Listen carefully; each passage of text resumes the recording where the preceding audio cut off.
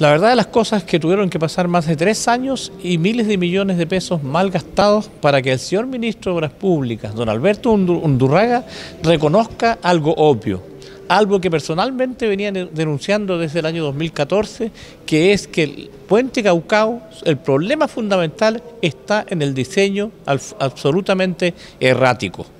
Yo espero que la misma Presidenta de la República, la Presidenta Bachelet, llame al señor Ministro de Obras Públicas, porque este lo único que desea es demoler lo que hoy día está construido de lo que es el puente Caucao. O sea, quiere demoler, en el fondo, la prueba del delito, siendo que la estructura eh, es probable que sea totalmente recuperada si existe buena disposición, especialmente de lo que es el Ministerio de Obras Públicas.